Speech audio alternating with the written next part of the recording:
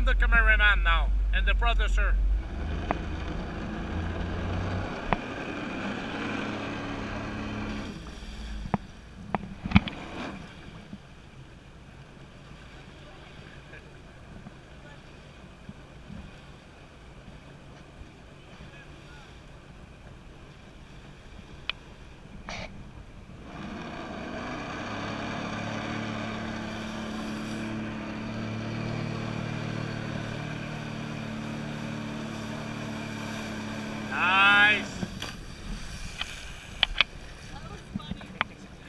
No.